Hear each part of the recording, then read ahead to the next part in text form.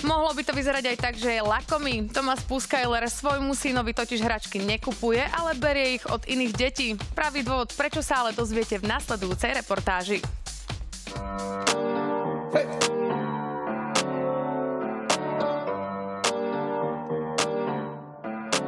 Tomas s manželkou Eby majú jediného syna s krásnym menom Noa. Nevymetajú s ním obchody s hračkami, ale vyrábajú si ich doma. Kartón sme mali a sme urobili z toho hrad. Tak sme zobrali nožničky pre deti, čo je najviac začína strihať do toho kartónu s detskými nožničkami, tak to trvá 8 hodín, keď môže niečo z toho vystrihnúť, ale fungovalo to, sme urobili hrad a je úplne hotový z toho. Tomasova manželka je umelkyňa a v jej ateliéri sa nájde naozaj hocičo. Mama!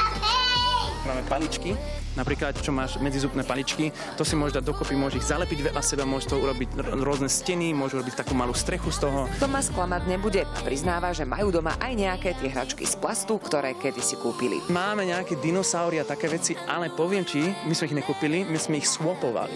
Lebo to je momentálne in v Bratislave, rôzne mamičky sa stretávajú a ja im dám nejakú hračku, oni mi dajú nejakú novú.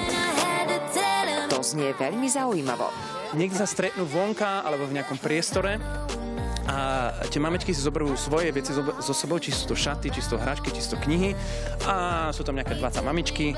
A takto si začínajú vymeniať sa. Pozor, aha, čo ty máš? A nejaké krásne tričko, ja mám toto tričko, vymenieme si alebo nejaké hračky, ako tie staré časy. Pamätáte sa, že krumplu a ty si mi dal nejaký banán, to ešte bolo, ja som vtedy ešte nežil, ale ja viem, ja som čítal o tom. Tomas s manželkou Eby jednoducho takto nielen ušetria peniažky, ale dávajú veciam druhú šancu a šetria tak životné prostredie. A to inak robia doma bežne. Napríklad aj na záchode. Máme dva gombiky na záchod, že veľký gombik, veľký, veľký dáček, malý gombik, malý dáček, vieš, lebo šetríme s vodou. Erika Barkolová, televízia Joj.